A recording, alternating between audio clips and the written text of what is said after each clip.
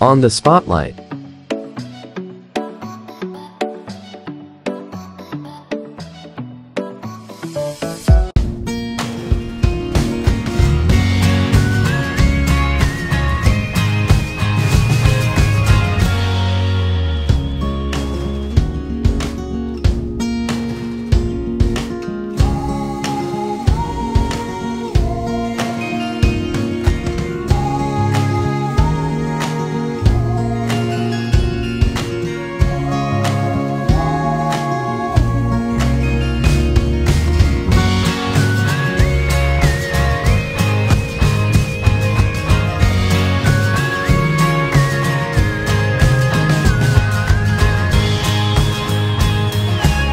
Thank you for watching.